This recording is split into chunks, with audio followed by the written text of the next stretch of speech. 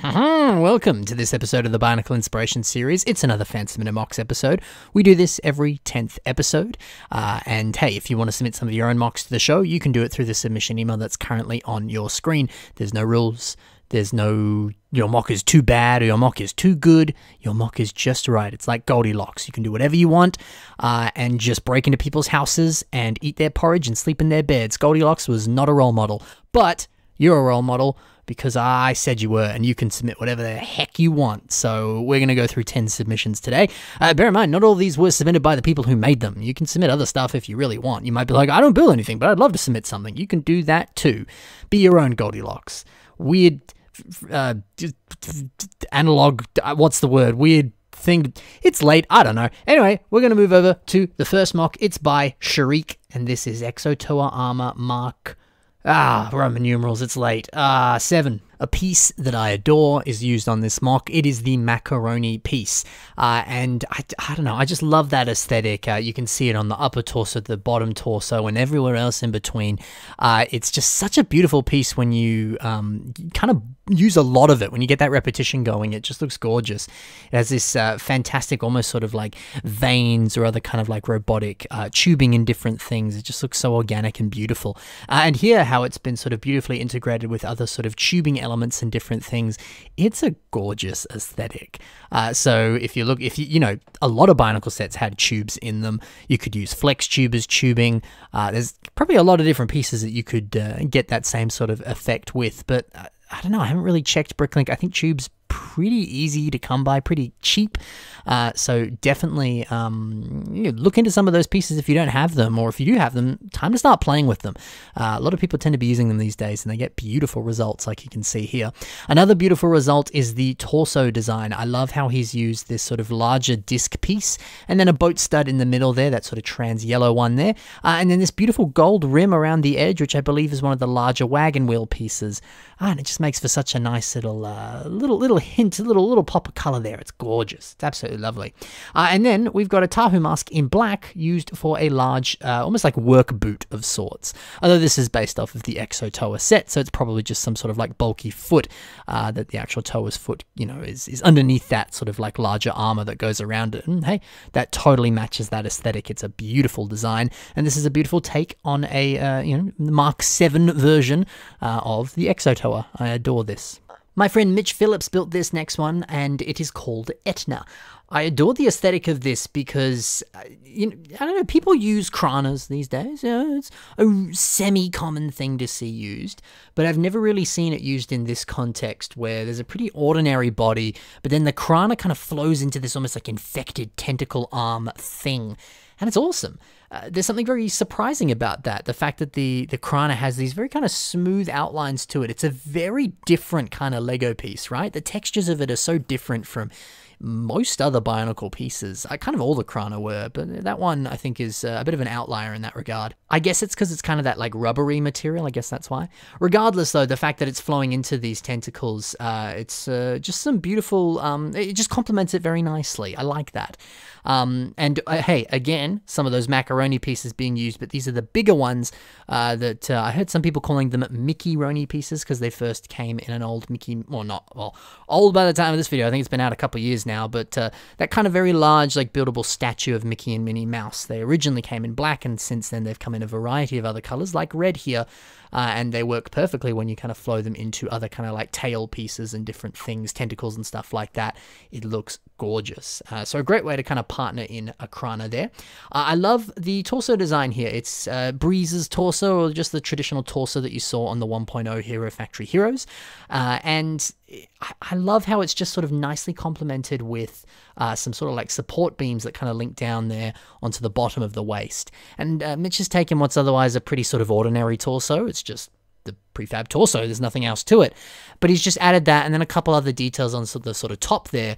And suddenly it looks like a much more sort of intricate, nicely done torso design. It's beautifully simple, but it so effectively just lifts that original piece there just by adding a couple additional support structures, which again kind of ties into the the kind of like beam effect that you do actually see on that waist there, just the way that that torso is designed, just sort of uh, almost like amplifying that. It's a really nice idea and a really great way of doing that. So a beautifully simple mock but man, when you pay attention to how pieces look and then sort of play off of that, uh, it just elevates this mock to a whole nother level. It's really, really nice. I love your work. Let's move over now to the next mock. This is Trev Guard. Uh, well, this is by Trev Guard, rather, uh, and he didn't have a name for this, but I'm going to call this Bug Boy, which is not a very creative name. But hey, you can maybe leave in the comments below a name that you might call this MOC, but uh, or maybe Trev can actually leave that in the comments because he didn't include it in the email. But which is fine by the way, I don't, I don't mind. Uh, but I love this. I love bugs just in general, uh, and this is uh, a nice sort of humanoid bug-like character here. The head design's awesome, using some of those sword pieces there for the sort of antenna, uh, and then just the Bohrok eyes for the eyes themselves. Yeah, there's a very beautiful kind of like wasp-like look to that. It's awesome. Uh, the trans-colored pieces, I think, are also a nice touch. There's something surprisingly very bug-like about that. Nice color choice indeed. I always like seeing, too, the minifigure hand pieces being used as that kind of like furry texture that you often see on bugs. Uh, and those Gorast wings, they're the perfect piece to use if you're building some sort of insect or bug of sorts. Uh, it's just perfect. I mean, th that's exactly how wings look, and that piece is just I deal. So, love your work here, good sir. This is a fantastic mock. Let's move over now to the next one. Uh, this is by Bonked Aniki, and this is Renna Toa of Water. I adore the weapon on this quite a lot. Um, the fact that it uh, is, you know, it's kind of two shades of blue. I guess that's kind of more purple they're also translucent colors, but it's marked it's markedly different from the dark blue and the silver that's being used here. But there's still elements of blue. So I love the idea of the weapon still resembling elements of the color scheme, but being still slightly different in that sense. Uh, and I've, I've kind of made this uh, analog before where I've said, you know, a knight doesn't go out into the battlefield and go, ah, my arm is silver, my sword also needs to be silver. Or my arm is yellow, my sword has to also be yellow. That's not always how it works, right? The swords can be whatever color you want, especially if there's some sort of special sword that has elemental powers. It makes sense if it's like red or on fire or has I don't know, gas coming off of it because it's got some like poison effect or something cool. Who knows? Um, so I love the idea of playing around with the color schemes on your weapon. But hey, if you want it to just be a flat silver or match the color scheme of your MOC, because hey, I'm sure some knights are fashionistas and they're like, no, my sword needs to be purple, just like my armor. I think all of them make sense. You can do whatever you want with your MOC, uh, but uh, it's a nice little touch there. Uh, and I mean, hey, you could have easily put some of those lightning effects uh, that are on the sword there onto the actual and I think it would have worked very well as well. Uh, so yeah, all in all, it's a, a, great little design there, that's for sure. I'm very happy to see a couple pieces being used here, like the Rahkshi leg pieces. They're being used there on the upper arms, and I don't know, you just don't really see that piece being used all that often. It was kind of a weird piece, kind of only came on the Rahkshi. Uh, so just lovely to see that being used. And then lovely to see the uh, Gali Mistika mask being used because I know so many people who despise that mask. Fair enough, it's not the best Bionicle mask, but it's still a good Bionicle mask. Uh, so it's nice to see it being uh, beautifully incorporated into this mock here. Very, very nice. On to the next one. Uh, this one here is built by Nice Lad SM. And now he simply called this unnamed fire Matoran and he said, hey Ben, can you give it a goofy name? Mission accepted. Uh, so unnamed fire Matoran UFM, let's call him Uncle Fred Marf. Or just Marf, Marf's good. Um, or if you want to give him a serious name, I thought Ikara the Seeker. So you can pick from those. Or again, if you have a, cool name, you can leave it in the comments below. I'm keen to hear your thoughts. Um, so I adore this. This is a very sort of like Mouth of Sauron, um, as in moderator on uh, the Discord server. Nice guy who tends to build a lot of different Matoran stuff. Yeah, it's uh, it's a, a really fun aesthetic. One of my favorite details is the kind of rubber band on the back there. Certainly not an official rubber band, but eh, who cares? You can use rubber bands from around your house. Uh, but the idea of kind of wrapping the um, sort of Lego kind of treasure chest piece there is awesome. Uh, there's some real nice sort of like wanderer kind of uh, vibes to this guy here. You know, he's got very few items, but he can sort of stash them on his back there and just kind of ties them around and gets the job done. Uh, and I love this sort of like makeshift pole that's uh, it's sort of drooping a little bit, but uh, it gets the job done, and it's got the little lantern on the end there. So, uh, yeah, it's just a fun aesthetic. It looks so like thrown together and just using, uh, you know, the the resources that he had around him to, uh, you know, make do with what he's got, sort of thing. It's a it's a great vibe, uh, and I think that's also kind of conveyed with the asymmetry on this guy too, with a, a lot of silver all throughout, but then bits of um, orange and red thrown in there as well. It's a it's a, a little bit of asymmetry always always looks good, I think. So that's cool. Um, but yeah, just a really fun, clever build and a unique way of uh, photographing this too, putting him on a Technic beam there and just sort of holding him up to the wall. I've not seen that before, but it got gets the job done. Uh, so yes, I adore this. Very, very cool. On to the next one. Uh, this is built by Yannick Gotz, and this is the Holy Gunslinger Speak No Evil. Uh, I, I love this so much. This is great fun. Uh, the idea of using some of these balloon pieces, these specifically came on this Elves set, but uh, actually in my most recent video about uh, Brickvention, all the Bionicle MOCs that were on display there, definitely check that out. There was a lot of really good stuff for Brickvention this year, and more Brickvention videos to come, don't you worry. Uh, those balloon pieces were used on a lot of different MOCs. They're a very helpful piece to have. So again, if, you, if you're looking on Bricklink right now and you're like, what can I add to my order to help me out with my building? Get some of those balloon pieces. Uh, but I love the way they've been used here because there's this lovely sense of like, you know, they're kind of blowing in the breeze. It's this sort of like tattered cloth. They're off at different angles and things like that. Uh, and I think that's really serviced by the way that those balloon pieces beautifully curve. Um, it just looks awesome. And the way it's kind of been wrapped around there, like it's almost sort of like a poncho of sorts. So cool. Uh, and then just also the kind of like almost steampunk vibes to this MOC, mainly in the color scheme and the weapon. Uh, I love this weapon. The fact that it has this like glass container at the top, and then there's more kind of like glass containers on his belt there. I don't know if that's like ammo or if that's like some drinks that he's got stored in his belt. Maybe they're a little too small for that, but uh, it seems like it ties in with the gun. Um, that's just unique and fun. And I love some of the gold highlights, like the chain on the boot, uh, and then the gold flower piece there on the belt as well. It just looks so cool. Uh, and also the fact that there's, uh, you know, pretty like Western colors, you know, brown, silver, dark brown, little hints of black, the, you know, dark, um, dark blue jeans. I almost said dark green for some reason. Like I said, it's late. Uh, but, you know, they're very Western colors. That's what you would expect on a cowboy or a gunslinger. And then he's got a purple mask and the lavender, um, uh, you know, poncho of sorts. Love that contrast. It just works well, you know? Really, really cool. So, uh, yeah, just a lot of character to this and just looks so, so cool. And those piercing eyes. I could keep talking about this, but it's time to move on to the next mark. This is this is gorgeous, though. Love your work, Yanni. On to the next one. This is uh, also by Trev Guard. I didn't mean to put him in twice, but hey, lucky you. That's what happens when I record late. I mess up anyway. Uh, and uh, this is Necceta rework. We got some more asymmetry. Uh, I get the sense that this is almost sort of like an infection that's taking over this character here, especially with the way that this sort of like tentacle arm works.